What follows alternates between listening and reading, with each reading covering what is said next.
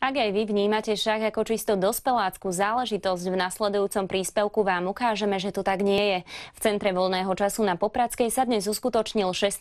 ročník Košickej žiackej ligy v šachu. Svoje sily si medzi sebou zmeralo viac ako 60 detí z Košického a Prešovského kraja. Podľa organizátorov v Košiciach každým rokom pribúdajú nové šachové talenty.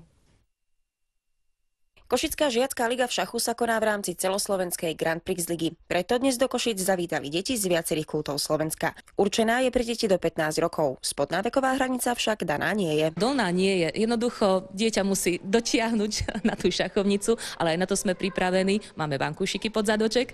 No a vedieť hrať. V šachu existuje viacero štýlov. Na dnešnom turnaji si deti zahrali tzv. švajčiarsky Open. Dopredu sa určí, koľko kôl sa bude hrať a dvojice sa potom e, dávajú dokopy podľa toho, ako získali body v predchádzajúcich kolách. Táto súťaž je v rámci Grand Prix a body môžu získavať v rámci celého Slovenska, aby mali čo najväčšiu šancu dostať sa do vlastne toho slovenského semifinále, finále. V rámci jedného ročníka môže byť 5-6 turnajov, my máme 6. Podľa organizátorov mladých šachových nadšencov stále pribúda. Svedčí o tom napríklad aj dnešná účasť viac ako 60 detí. Počet šachistov, ja môžem povedať, že stúpa, pretože keď sme začínali s touto touto súťažou.